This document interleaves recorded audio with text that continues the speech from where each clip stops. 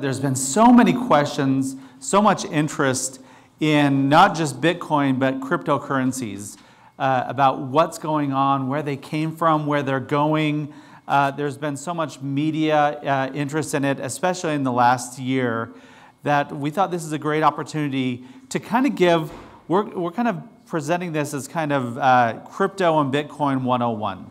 Uh, what is it? Where did it come from? Where is it going? Uh, what are the fundamentals, uh, some of that kind of information. And, um, and, and like she said, we're, if you've ever watched CNBC, they have these uh, programs where they have the bulls and the bears. Uh, so jo Joseph is going to uh, be the bull, and I'm going to be more of the bear. Um, and so, but, but you know, we, um, we, we both, and we'll get into this a little bit more, uh, we both see that there's a lot of potential uh, upside potential for Bitcoin and cryptocurrencies, but there's also a lot of uh, downside risk as well. And, um, and uh, just start, starting off right from the top, we are not going to give investment advice.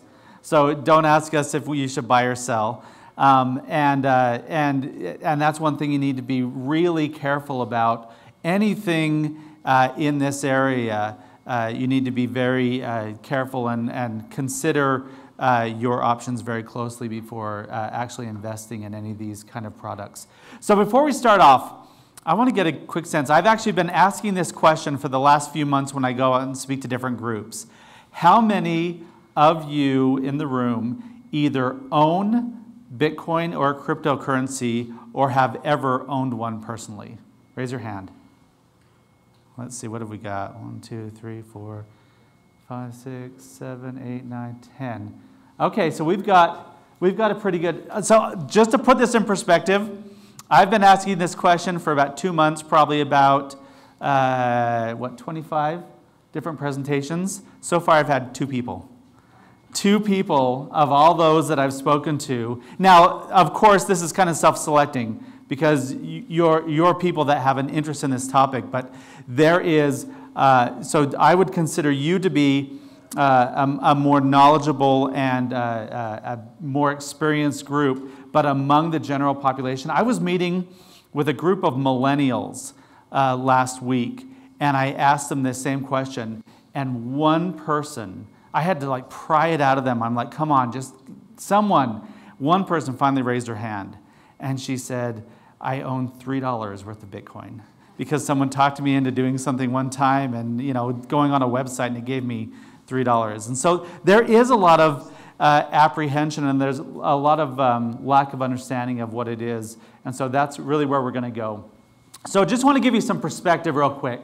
Uh, so what we're looking at here is uh, what's going on in our markets overall right now. This is the Dow Jones Industrial Average. Uh, the smooth line is the 50-day moving average of the Dow. Uh, and going back uh, to 2015, uh, forward to earlier this year. What you see is the Dow was trading in kind of a tight trading range between around 16 and 18,000 uh, for quite some time. And when you look at that moving average, you see it was actually trending down just a little bit going into uh, 2016 and throughout 2016. And then we had what we call an inflection point right there. Anyone have a guess what, what that day is? Election, election day. So the election had a dramatic and, uh, uh, and strong shift in where the markets were going. And we went from about 18,000 uh, right before the election to over 26,000, about 26,600 on January 26, 2018. A lot of that was because of kind of expectations. Markets are driven, and you're going to see this a lot with, um, with our cryptos. Markets are driven by expectations of future economic activity. So there was an expectation going into election day uh, of, a, of, essentially of a uh, Clinton administration and the, that the policies uh, associated with the Clinton administration. And then that expectation was shocked on election day and changed dramatically and went up 48% with this expectation of what was going to happen with the new administration. And as we know, every time markets go up, they continue to go up forever, right? trees grow to the sky, and once things go up, we can just expect to continue going up forever. Not really. So, January 26th of 2018 is right here. another inflection point. Uh, we've seen a, a, major change in uh, market sentiments, uh, in market performance. Uh, now, this red line is important. This is uh, in markets, if a market drops by 10%, it's called a correction. If a market drops by 20% from uh, recent highs, it's called a uh, bear market. So this red line is the definition of a correction in the Dow. And you can see what the markets have been doing. Coming from this high, we test. What the markets have been doing is they've been testing those lows. And what that means is it kind of hits a low and then it bounces off it. And that's a test. And then it kind of recovers and then comes down and it tests it again. You can see that in the test, it dips even deeper. So, what we see is because of this change in the expectation, uh, markets have now fundamentally shifted. And so now we see a much different trend uh, driven by a number of factors. There's not one factor driving this. What's interesting is this one, the first drop, was based on good economic data. What we saw was we saw uh, uh, income go up higher than expected. Now you would say, well, that's good, which it is. But if income goes up, then the expectation is that inflation will also go up. And if, if inflation goes up dramatically, then the Fed will get more aggressive at raising interest rates, which will cause money to shift out of markets uh, and into other uh, investment areas. And so that's where we saw this first drop. The second drop uh, is a little more concerning to me. This was based on the announcement of the Trump administration of uh, potential tariffs, starting off with uh, steel and aluminum, but then spreading uh, to a number of different areas, especially with China. And so we're, so we're seeing kind of a, a change. And then just yesterday, we came close uh, to dropping below that uh, 24,000, that correction level again. Today we're up a little bit, we're up uh, just over 200 points.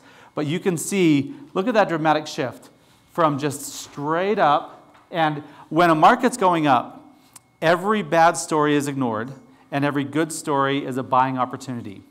When the markets are, are shifting to more downward, uh, good stories are often ignored and bad stories are selling opportunities. And so we're kind of seeing that, that sentiment change. And so with that, with that overall, but you know, you can see, look how we dropped. We dropped all the way down 10% drop in the Dow in the space of, uh, of just a few days. And that's a pretty dramatic drop.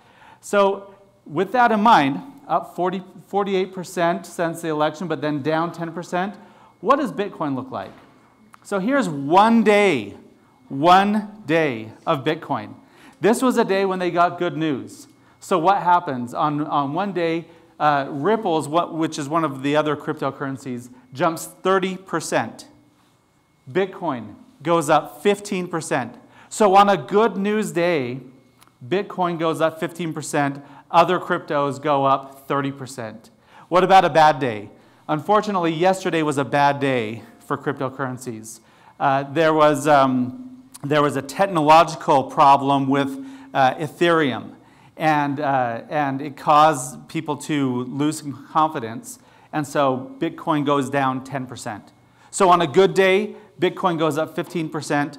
On a bad day, it goes down 10%. And you can see how dramatically that is. Look, it was way up to 9,700 about midday, and by close, we're down to 8,600. So these huge fluctuations uh, going on in Bitcoin on a continual basis. And one of the interesting things, one of the really fundamentally different aspects of, of Bitcoin over maybe like the stock market, is trading is literally 24 hours a day, seven days a week. So it's not, you know, the stock market, it's from 9.30 to 4. And, you know, and there's a little bit of extra activity before and after, but not much. Bitcoin, you can go on, uh, on a Bitcoin exchange at 2 in the morning on Sunday and, you know, buy as much Bitcoin as you want. So it is fundamentally different, and we see, and some of that adds to that, uh, that volatility that we've seen. Joseph, do you want to kind of get into uh, some of the specifics of the technology? I'll just run this. Yeah, absolutely. So thank you guys. Um, one thing I know everybody keeps saying I'm a big bull, uh, and I am, but it, it's, uh, it's important to differentiate being excited about the technology itself and it as an investment. Those are two different things, and I think there's exciting times ahead for the technology itself. The investment, that's a different question. Uh, so to kind of get started, I think it helps um, when thinking about Bitcoin and some of these cryptocurrencies, you know, why were they created? Where do they come from? And kind of the time frame that they developed in. So in 2008, um, a mysterious figure, Satoshi Nakamoto, he presented an idea for Bitcoin. Uh, it was later developed in 2009. Um, but what was going on in that time? Well, the financial crisis was going on. So at that time, you had a lot of people, a lot of groups that were very distrustful of mainstream financial institutions, Wall Street, government, the Federal Reserve. So this, this small group of people got together and they said, look, let's create a digital currency, a digital form of cash that we can use outside of the mainstream financial institutions. So basically, anybody here can go and download a Bitcoin wallet, okay? And I can download a wallet, Robert can download a wallet, and we can send each other Bitcoin. All you need is an internet connection. So you can send money anywhere in the world. You can send Bitcoin anywhere in the world. Um, but what's important to realize is, okay, that's well and good. But currently, if I, if I want to send a normal transaction to Robert, I send it, the bank processes it, verifies it, makes sure that it gets securely to Robert. But in Bitcoin, you don't have that, right? You're trying to operate outside of the normal banking institution. So what do you need? You need somebody in the middle to process that transaction and make sure it gets to Robert. So again, anybody in this room can sign up to be, you just download software on your computer, sign up to be what's called a miner. And so you guys can all on your, on your computer set up to have a mining system. You can have it set up. So when I send a transaction to Robert, it goes from me to you guys. You guys process and verify the transaction, and then it goes to Robert. All of those transactions are recorded on a digital ledger, just a record of accounting. Every transaction is put on the ledger, and every transaction is what they say immutable. So it can't be changed. The ledger cannot be changed. So this is the kind of the idea that they developed. It's a direct peer-to-peer currency that is verified and processed by a diverse group of people all over the world. It's decentralized. And everybody can see the records. Everybody can see that ledger, and it maintains the accuracy and trueness of the record. Now, one thing to remember is that Bitcoin doesn't come out of nowhere. So the, you guys don't verify these transactions just out of the goodness of your heart. So when you verify transactions, you're rewarded with Bitcoin. And that's how Bitcoin comes into existence. Is if you verify a transaction, you add it to the blockchain, and the blockchain is that digital ledger. You add it to the blockchain, then you're rewarded with Bitcoin. So that's how it's created. It's basically just a digital form of payment that uses the blockchain to verify and process the transaction. Um, so we can go ahead and change.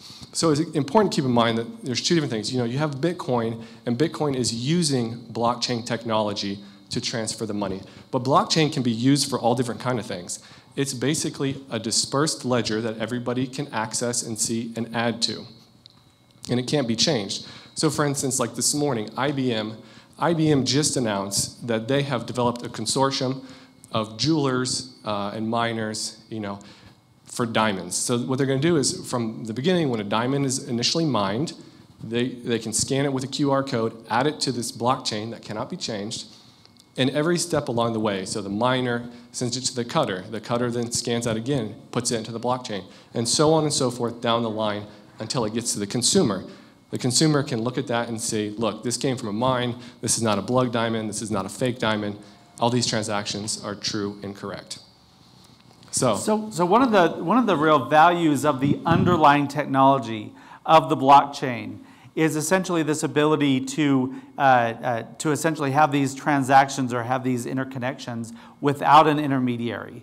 And uh, a, a great analogy that I've heard is it's kind of the difference between the old Microsoft Word and uh, Google Docs. Where if you remember, if you were working with a group, let's say you're on a group project, you're working on a report, and there's you know several of you. So what do you do? When you go into the document, you click on the track changes, right?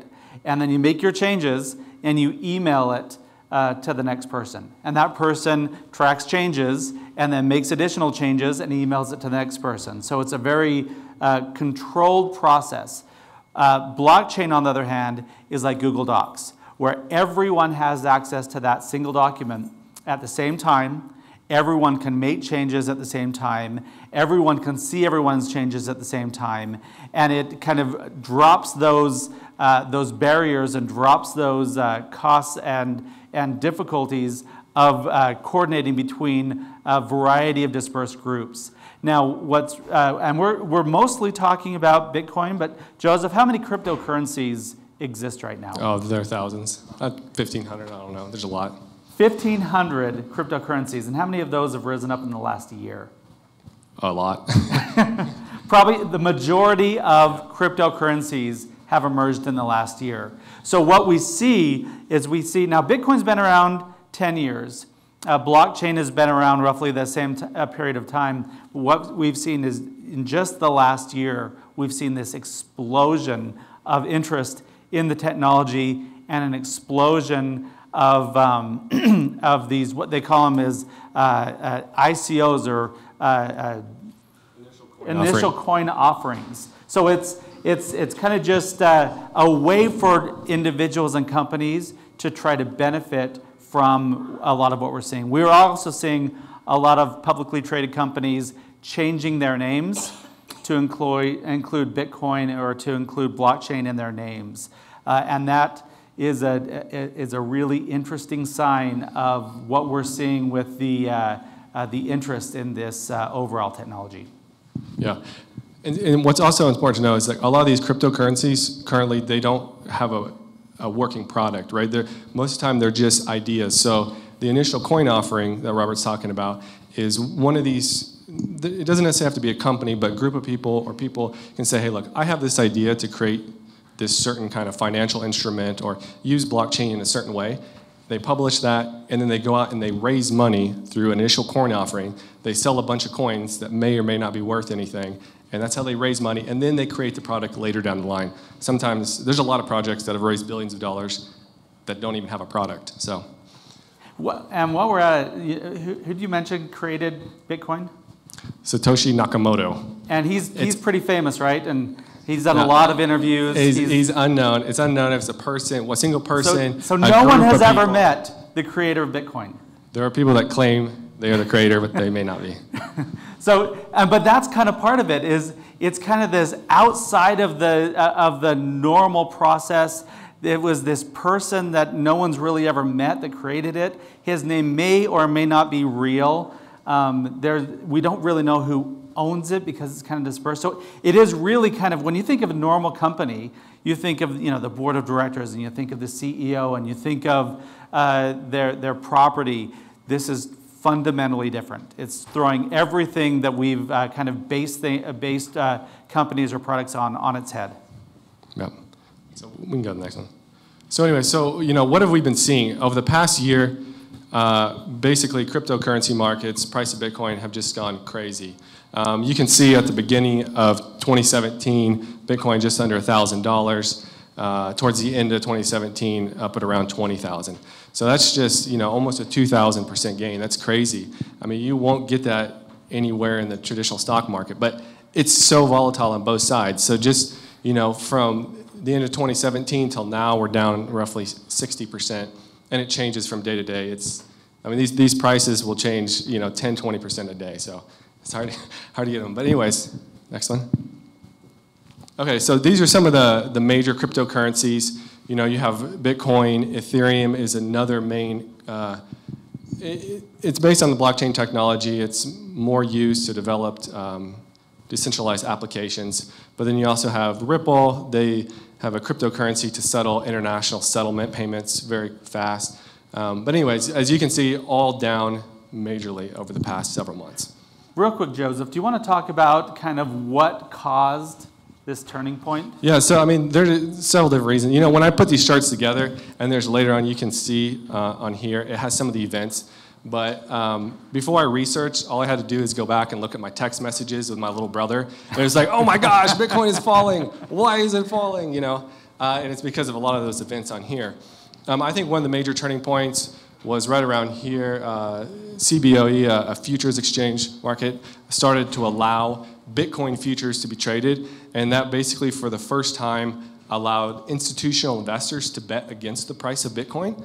Um, previously, it just basically gone up because that's really the only way that you could play play the market was up. So you had uh, CBOE futures on this side. You had CME Group, another futures group, uh, who also launched their futures, and then all along the way, and you can see it in there, and we'll talk a little bit about later. But there's events. Most of them are rumors or reports of different governments cracking down on Bitcoin, on um, other cryptocurrencies, on the exchanges, and things like that along the way. Okay, so the question is Is Bitcoin a bubble? And uh, so I, I want to dig into that a little bit. You know, what is uh, an asset bubble? Uh, there's a few different examples of it. Uh, probably the most classic one is the tulip mania in the Netherlands in the 1600s. And so uh, most people don't realize this, but tulips were introduced to the ne- Netherlands. they actually originated in Turkey, but uh, in the 1600s, uh, in the mid 1600s, they were brought to the Netherlands by Turkey, and everyone just loved them. They fell in love with tulips. And then there was a variety of tulip. It was actually infected with a, uh, with a virus, but it didn't kill the tulip. What it did was it caused the colors to change, and they were striped or spotted or different, and that got everyone excited. And so the value of those different tulips started to go up. And then people started to speculate, and they said, hey, uh, when people are coming into the country, they're going to want to buy more of these. And so, uh, so it started to build on each other, uh, uh growing higher and higher. You can see the spike in tulips. So before Tulip Mania started, uh, a, tulip cost about the, uh, the same as an onion. At the peak of Tulip Mania, one tulip cost the price of a house. After it was over, it was lower than the price of an onion. So you can see, you know, imagine someone selling their house to buy a tulip, and then a year later, it's back to being worth less than an onion. And so that scared off, or scared so many people. In fact, the, the government tried to come in and support uh, the level of tulips by saying we will, uh, we will cover part of the cost, but then the price fell below what the government could afford to cover. And so people literally lost everything over tulips. Now, so, so you know, that's kind of your fundamental. Then we've got the dot com boom and bust of the, uh, of the uh, uh, turn of the millennium, right around uh, 2000.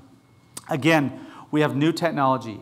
It's just coming on board. Everyone's excited about it, uh, and everyone starts driving that up. And what did we see? We saw companies changing their name to include .com.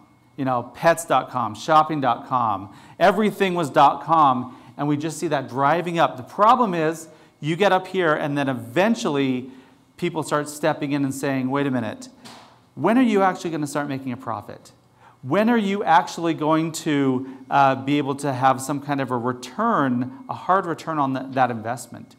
And when that started to happen, it started to drive that price down.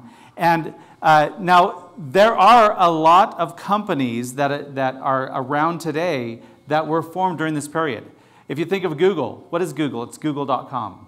You know, what is Facebook? It's facebook.com, twitter.com. They're all .coms and they're all very successful and very uh, uh, valuable companies. But for every one of the Googles or Twitters or Facebooks, there's a thousand other dot coms uh, that have come and gone and uh, ha- have just essentially disappeared. So then we come forward to Bitcoin, and you can see that dramatic increase in the price. Uh, again, uh, Bitcoin is about 10 years old, and we've seen just in the last year a spike, a really big increase. Now, what's happened lately? So, what does a bubble look like? So, what are kind of our stages? You have the takeoff, and it kind of goes up, and then there's a little sell off. You have, they call that the bear trap, and then you start getting media attention, enthusiasm, greed, delusion, and you know, the, this is my favorite the new paradigm. You know, you've heard this, everyone says, no, it's different this time. Trust me, it's different. It's going to be the, the new normal. This is everyone's going to be using this product, and it, it, it can only continue to go to the sky. But then you start to see the downside. You've got denial, and then you've got a little bull trap, return to the normal. They say, oh, we're back. But then, you know, this is like the 10 stages of grief, right? You've got fear, capitulation, despair, uh, and then kind of a return to the mean. Now, not directly, but look at the shape of this, of this graph. Now, look at this. You've got, you've got uh, Bitcoin kind of, there's our, there, there's our first little bump, kind of comes down, and then we have it just jumping right up. People are saying, this is the new normal. Everything is going to be in Bitcoin from now on. Cryptos are going to take over the world. And then we start, now everyone's making money on the way up, right? There's only one way to make money, just like Joseph said. One way to make money is to buy. But once, they, once Bitcoin gets and the cryptocurrencies get uh, included on uh, the, kind of the secondary markets uh, or on the, uh, the exchanges, now you can make money on the way down by selling it short, by betting that it will go down. So people, a lot of people are making money by driving the price down. So we kind of see that happening. Now, but the big question, though, is did we hit a high? Is 19,000 the all-time high? Is this the low? You know, is the price right now around seven, 8,000 the low?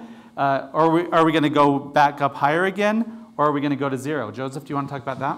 Oh, wait. Oh, and th this is just showing one more. Uh, so this is comparing directly uh, the uh, changes in the NASDAQ uh, to Bitcoin. And you can see how similar the dot-com bubble is to what we've seen in Bitcoin. Uh, the NASDAQ is in blue, Bitcoin is in red. Now, these have been indexed just so we can compare them side by side. Let's look at the absolute value uh, or, or change in value of Bitcoin compared to some other classic bubbles. So uh, we've got Bitcoin right here in dark blue. Uh, here's the tulip mania, comes up to about half of what Bitcoin is. you know, we hear so much about uh, the, uh, the Great Depression and the, the crash of the stock market in 1929? It's right there. so just think about that scale. The scale of what we're seeing with Bitcoin is so much bigger than what we've ever seen before. And that's why it's getting so much attention. And, and if it does, uh, well, and you know, if Bitcoin takes off even more, it, it, it is uh, fundamentally different. But uh, that underlying technology as well really has the potential to change our lives. But is Bitcoin, the big question is, is Bitcoin or are any of the cryptocurrencies the vehicle that are going to take us there? Okay, well, this graph is a little off. But um, so, anyways, I, I, think when looking at Bitcoin, you know, the, the page you have in front of you, and you can see right here, it's just a massive spike. But I think it's also important um, to kind of understand the context of these boom and bust cycles that it goes through. Now, I don't think Bitcoin is going to go up forever, but I think it's important to understand the history of other cycles that it's been through and kind of think about that. So, one thing is, will you flip to the next slide? So, this is 2011.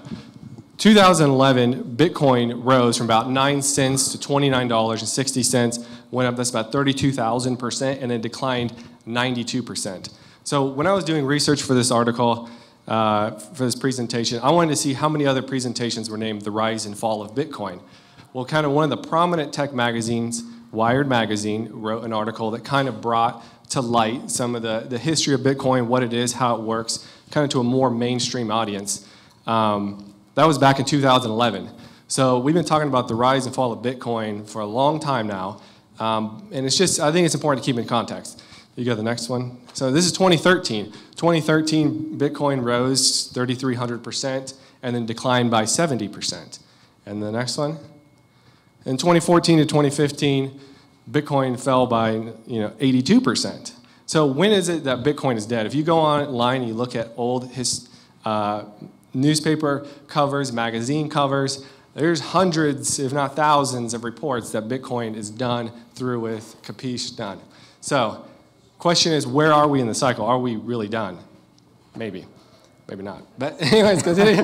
the, uh, the next slide. So the next slide is here. And then if we go back, can you go back to the very first of them? So if you go back, I know the chart's a little off. But if you go back, nope. in there you, you can... Sorry, it's, still, it's still going back. Hold on. There we go. So you can see those, those rise and fall. So this is the first one 92% fall, 70% fall, 80% fall, 65, you know, percent fall. So where are we in the overall scheme of things? I think. okay, I don't know. Where are we? I don't know. so, uh, and this is just kind of just some interesting information. One of the things is is interest of the public. Um, you know, we've, we've known about Bitcoin for a long time. We've heard about Bitcoin for a long time. So what this is doing is this is looking at uh, a Google Trends report. So Google searches on Bitcoin uh, compared to the price of Bitcoin, uh, going back to 2013. And you can see, it's really interesting. As that price goes up, it gets that media attention and uh, interest spikes. It goes down and interest goes down. Again, the, the price starts going up and interest goes up. Price goes down, it goes almost to zero. And now, you know, in 2017 and 2018, it spiked. As that price starts to go down, look how quickly that interest goes down. But now we've got another, you know, movement up, and there's a lot of interest, especially uh, just in the last week or two. Interest has gone way up as Bitcoin has started to uh, increase in price again. So you can just see how closely correlated those are, that it really is tied to uh, individual interest and media attention on, uh, on, on Bitcoin. So I mentioned Bitcoin's been around for about uh, 10 years. Uh, you know, I, I, I doubt uh, there are many people around that don't know what Bitcoin is. But what's interesting is how many institutional investors are uh, willing to invest in Bitcoin or any kind of cryptocurrency. And so that's what this question is, uh, released by the uh, Wall Street Journal. And we see that 11.2%, roughly, what's interesting, roughly equivalent to uh, ownership in this room. About 11.2% are willing to invest uh, in uh, cryptocurrency. So even though Bitcoin has a 10 year history, it's still barely cracking into uh, institutional interest and institutional willingness to invest. So there's still a long way to go before, uh, before institutional investors and overall investors have enough confidence to be willing to uh, invest in cryptocurrencies. Joseph, do you want to hit this one? Okay, yeah. So just to get to this in a second, I do like what Robert was saying. You know, uh, a lot of a lot of institution, institutional investors and some of the larger investors are waiting for more regulatory clarity. They don't want to jump into a space that they're not sure what's going to happen to in the future. Uh, but kind of looking at, at you know the background of Bitcoin a little bit more. You know, Bitcoin as a means of transfer of value, as a digital cash, it has it doesn't have any backing. It's not like you know the U.S. dollar, which has the backing of the, of the U.S. government. You can pay your taxes with it. Um, you know, there there are some issues and there are some issues also with this. When you think about when you develop a currency outside of the banking center um, and you don't use all the verification processes that go into it, anybody can sign up for a Bitcoin wallet. You don't need ID check, you don't need credit check, you don't need anything of that. So in some ways, that's where you get some of the bad rap for Bitcoin as being used for you know, drug, drug trade, terrorist financing, those things, because dark web. Yeah, the dark web. So basically, anybody can participate in this. Um, so uh, basically, what you know, there's different uh, ideas on what Bitcoin is. Is it just a currency? Is it just a transactional system? Um, or is it something else like an asset? Is it something you hold on to like gold? Um, it kind of depends. You know, Bitcoin is capped at 21 million Bitcoin. So the idea behind that is that the, the value of Bitcoin will just keep going up as more and more people want it. Why they want it, I don't know. It's up to them. Um, today, I think, uh, today, sometime tomorrow, the 17th millionth Bitcoin will be mined and come into the world. So basically, 80% of all the Bitcoin is already out there. Um, it's going to be capped at 21 million. Some people see that as a reason to invest in it. Some people just think that's just another feature of it. So, how many in here have heard of uh, Napster? Okay, the, most of you have heard of Napster. Uh, how many of you use Napster today?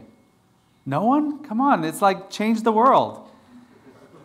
So we use, every one of us use the technology that Napster developed. that ability to download songs and be able to move them onto uh, your computer or to be able to stream those songs. Uh, and Napster, it did. Napster changed the world. I remember 20 years ago when it first came out, I was literally downloading songs 24 hours a day.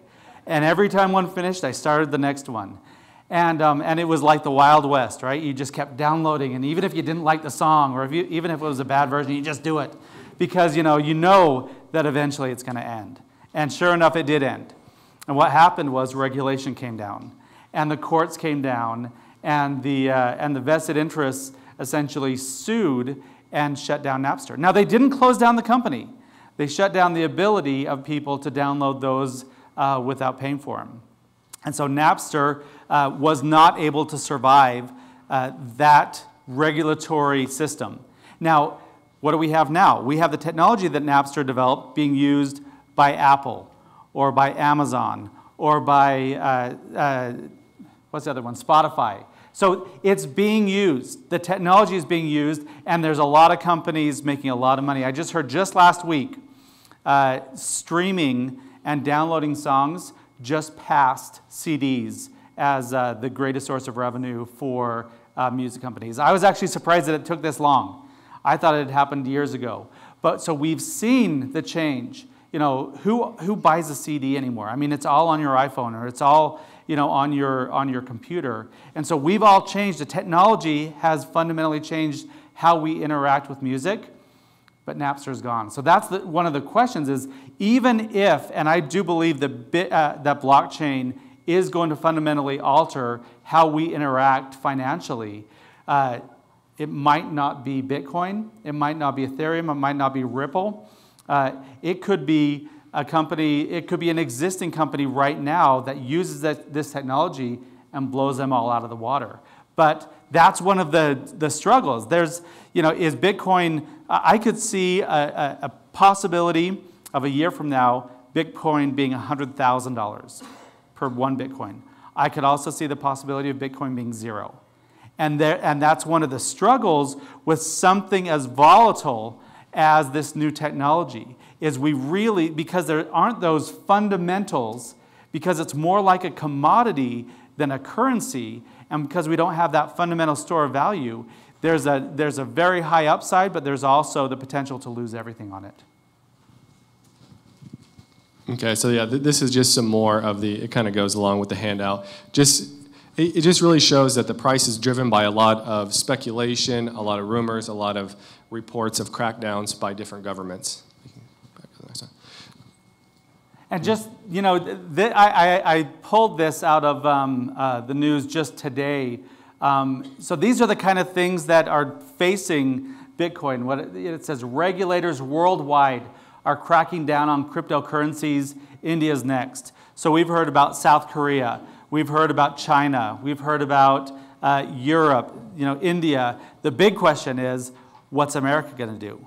How is, uh, the, uh, how is the U.S. government, how are U.S. regulators going to treat uh, Bitcoin and other cryptocurrencies? We don't know yet. So we're still Napster, uh, you know, in, in you know, 2001 right now, and we, we're just kind of waiting to see how this will be uh, treated by regulators.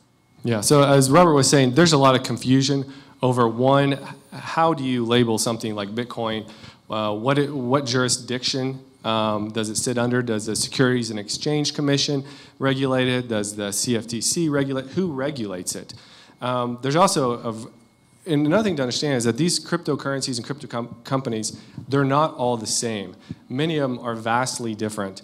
Um, something like Bitcoin, Bitcoin is, has a very libertarian ideal. We want to exist outside the government. We want to be decentralized. We're not a company.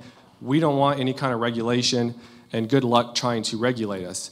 Now, there's other companies like Ripple uh, who says, look, we, Ripple owns a lot of a currency called XRP. They say, look, we want to be regulated. You know, regulation is good for the space to grow because it provides incentive for outside investors, those big investors, to really move into the space. But you know, it can take years to develop, go through the regulatory process. The uh, the old head of the, the CFTC, Gary Gensler, he just said, "Look, I think maybe Ripple and Ethereum should be categorized as securities and should be re- regulated as such, but that's a two year process. Um, so that's just, that creates a lot of uh, uncertainty.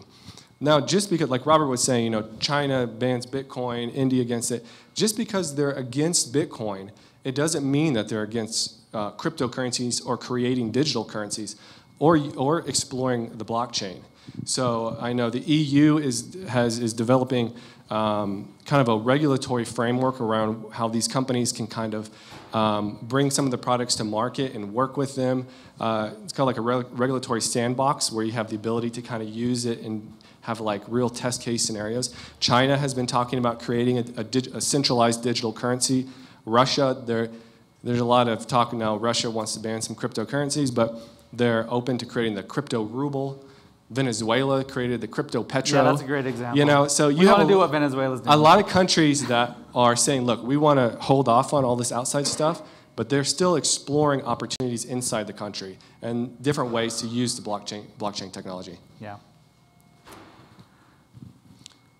I thought you wanted this one, Robert. So, No, anyways, the next one. Uh, you- okay, so anyways, these are some common crypto acronyms. If you hear them on TV, online, on Twitter, uh, so FUD, fear, uncertainty, doubt. You hear this one coming in all the time now within mainstream reporting, especially CNBC, which has really picked up on the crypto craze. They actually have, uh, if you turn on CNBC kind of in the afternoon, they'll sometimes have a Bitcoin tracker going Yeah. on, like on the screen all the time. So uh, typically, what happens is when the price goes down, everybody on Twitter starts blasting out, you know, rumors and reports, and everybody says stop spreading the FUD because you're tanking the price. FOMO is on the way up, so everybody's afraid of missing out on this on these massive price gains. I mean, I think I was looking upstairs before I came down here. There's some cryptocurrencies that are going up, you know, 70, 80 percent, you know, just just this morning. And why? Well, people all pile in because they're afraid of missing out. Um, another one, so HODL. HODL is a very popular one. So back in the early days of crypto, some guy had too much to drink. He went online and he tried to ask his friends, should I hold on to Bitcoin? But instead of saying hold, he said HODL. He spelled it. And it's kind of become like a meme kind of thing on the internet now, where everybody just says long-term holding of Bitcoin or cryptocurrencies, HODL. Now, that's, that's kind of the, the traditional meaning of HODL, but I want to, the impression I want you to kind of leave with is uh, what a lot of people uh, uh, define HODL as, which is hold on for dear life. Because, uh, you know, we, we see a lot of that, uh, that roller coaster with overall stock markets. We see it with, uh, with overall equity markets. You saw it with, with even the Dow. And so there is up and down. But uh, cryptos are one of those examples where they're way up or they're way down, and you never know what's going to happen the next day. It's uh, an exciting time, but it is something where you need to be really careful about. Uh, if you're going to if you're going to buy it, you need to go in with your eyes wide open, understanding that yes, you may double your money overnight, but you may also lose everything overnight, and the probability of, of those is uh, pretty even. And so that's just uh, something that you need to be really careful about. So um, thanks so much. Uh, we've got about 10 minutes left. And uh, we, we have some questions that people uh, submitted before. And then we'll also, uh, maybe, Joseph, we can mix in some questions from the audience as well uh, while Yeah. we're doing this. Uh, absolutely. So yeah, thank you all for the employees who sent in questions. They were very thoughtful, very good. Um, Well, mostly. yeah, mostly, and they uh, they really gave us kind of a template on how to. I'm looking at you. So, anyways, Rob, yeah. So, so these are some of the questions, and just because I don't ask your question doesn't mean I don't think it's good. They're all good. We can talk about it later. Um, so, going back to the idea of regulation, Robert, um, there's a lot of uncertainty now. A lot of regulators are kind of competing uh, over who has jurisdiction, who's going to regulate. Um, if, if you were advising the regulators, um, how would you advise them to regulate some of these cryptos? Well, and, and what's really interesting about this is Bitcoin has been around for a long time. It's been around for 10 years. They've had time already to regulate it, and they decided not to do it, uh, and they still haven't uh, stepped in yet. But uh, you know, with that recent interest, with that big jump in, uh, in Bitcoin and the price and in the interest, we are going to, I, I'm, I'm pretty confident in the next couple years, we will see regulation. And I think uh, what, one of the things that regulators need to be very careful about is they do need to uh, ensure safety, they need to ensure security, they need to make sure that people have confidence in the products. But also, uh, government regulation should not be shutting down these markets, should not be preventing people access to these uh, instruments. And so I, I, would say we need to take a very uh, careful and deliberative process towards regulating these. We don't even know, this is one of the crazy things, we don't even know who will regulate them. You know, we talk, it could be the SEC, could be the FDIC, could be a, a number of different uh, organizations, and they all want to do it. Uh, but uh, we need to be really careful in not constraining the growth of this overall technology. Okay, so uh, another one has what do you think about the future kind of mainstream adoption of Bitcoin and some of these other cryptocurrencies?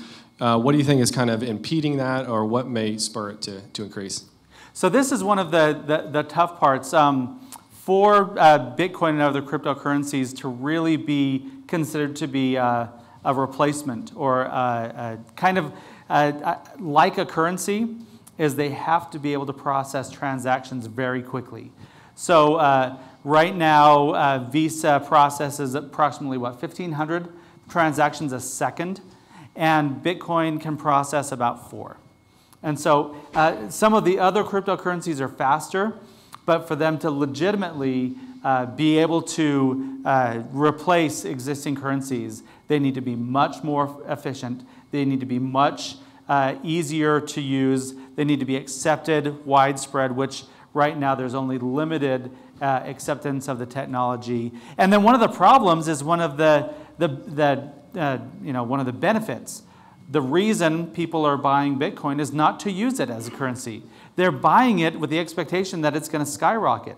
With a, uh, with a commodity like that, it has very limited usefulness in uh, an exchange of, of wealth. Uh, there was a, a, guy that in about 2013 uh, bought a pizza uh, with about, I think he bought it with like 10 Bitcoin. I mean, th- that pizza that he paid I think it was 10,000. was it 10,000? yeah. Okay, so 10,000 Bitcoin and he bought a pizza. That pizza is worth like a billion dollars now. Right? So, why would you ever spend your Bitcoin or your Ethereum or your Litecoin or your Ripple if tomorrow you expect it to be um, 10% higher. And a year from now, you expect it to be 1,000% higher. We've got to stabilize those markets before they can be really viable. Should we uh, take any questions? Are there any questions from the, from the audience? Yeah. this is, was great, as, as usual, guys. What, can I ask you to play futurist for a second here? I mean, what is the potential that this could do uh, traditional currency into traditional banking? I mean, if uh, I, I personally think it's huge. I mean, I think you already see that most of society is going cashless. We don't use cash nearly as much as we use anymore. And I think that when you have some of this technology that maybe right now is not fully implemented, but in the future will cut down on times like international transaction settlements. I mean, right now, like Ripple, they're partnered with Banco Santander, and they're using an application that uses um, Ripple software to send money remittances between like Spain and Brazil and Portugal, like almost instantaneously.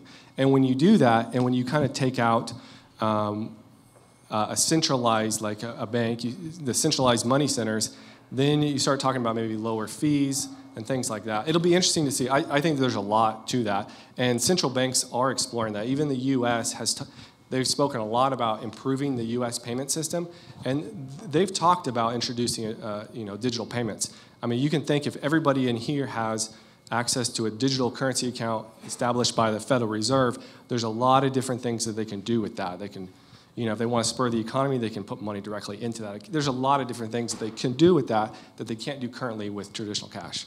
And I think one of the areas where it has a potential to really have a lot of upside is in those underbanked areas uh, like sub Saharan Africa, where the bank system may be very thin or maybe corrupt or you know, they can't trust the government. Those are areas where you can kind of get around it by using uh, blockchain and cryptocurrencies. In established, I mean, in a place like America, it's a lot harder to make the case uh, for using them because our system works so well and it's so efficient. Yeah. Uh, but most of the world isn't uh, run as well as America or the developed uh, nations. Ma'am, did you have a question? So, I was wondering um, if you had any sense of how much volume is being spent on actual transactional fees? Like, are people just buying it and holding it as an investment, watching those, or, because you don't see lots of places where you can go spend it? Like, You occasionally see them, but, so how much is actually getting used for transactions to buy and things, and how much of it is just trading between?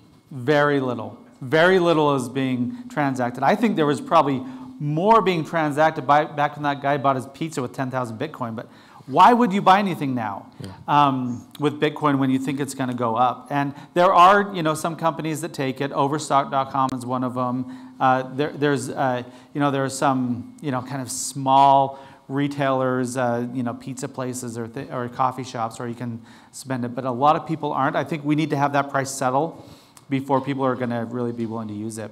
One of the interesting things, one of the kind of benefits or arguments in favor of Bitcoin. So the, the value of all Bitcoin in the world right now is around $200 billion. That's also the value of all the gold in Fort Knox.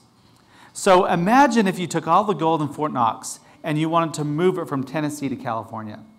That would be really difficult and very expensive, right? You'd have to load up the trucks, drive them across the country. You'd have to have security. You'd have to have a massive amount of infrastructure. It would be very, very expensive just to move that gold. And this is one of the interesting things is uh, in the Federal Reserve Bank of New York, they literally have a store of gold. And the way countries move gold around is they literally put the gold on a forklift and drive it to the bay of the different countries. Uh, it's an amazing thing to see, but it's very inefficient. With Bitcoin, you could take that entire $200 billion, put it on a thumb drive, and stick it in your pocket or give it to someone. The ease of transferring that money is so much lower. The barriers of that is so much lower that it's one of the benefits, but it's also one of the problems. Imagine if you could walk into Fort Knox, take all the gold, and throw it in your pocket and walk out. That's one of the struggles with this technology is what is so beneficial is also what makes it so dangerous. And it, that Bitcoin, if someone does put it on a thumb drive and walk away with it, you will never see it again. Just yesterday, part of the reason Bitcoin dropped was there was a story about uh, a group hacking and stealing some Ethereum. We hear a lot of stories about uh, cryptocurrencies being stolen. We don't ever hear stories about people being busted for stealing cryptocurrencies because it's just the nature of it is it's very difficult to track that. Let's see, we're just about out of time. Um, maybe one more, sir? Yes. Um, as far as initial acceptance of, of technologies, things like credit cards, when credit cards came into play, wasn't there a lot of initial resistance from government as well as ins- larger institutions? And if so, if that's true, how does, how does Bitcoin and cryptocurrency overcome that and become more mainstream? I, I don't know the exact history of the uh, of credit cards, but yes, I mean traditionally uh, you have the same thing with the internet. Everybody says, "Oh, the internet, that's just a crazy idea. That's never going to work." And now look where it's at. I mean, we we can't imagine our lives without it. Um, yeah, I don't know. I think I think honestly, just that Bitcoin and cryp- cryptocurrencies have been around for so long. I think it's little by little. Um, they kind of chip away at the system. There's no doubts that there are big uh, incumbents and governments um, who would like to um, keep it at bay, um, but uh, times change. I think it just takes time, and I think it really takes uh, clarity from the regulators. I think that's going to be the biggest thing. Yeah, that's what I was going to say. It's going to take that regulation because, because individuals need that certainty. They need to know that I can trust this product. They need to know that I, I, I, I can put my life savings. You know what? You know that if you take your entire retirement account and put it into cash, you can put it in your safe and it'll, you know, unless your house burns down or someone steals it, you know, that it's going to be, it'll be safe and it'll be worth something tomorrow. We need to have that kind of certainty with cryptocurrencies that we know if we, if we download it or, you know, purchase it or move it into our accounts, that tomorrow we can then use it to buy something. And that, that, that you know, those transactions will uh, be recognized by the banking system, by the, the government. And so that's where, that's where really we're waiting for that regulation. We're hoping for that re- regulation, and we're also hoping that it will be the right kind of regulation that will encourage the technology and not inhibit it.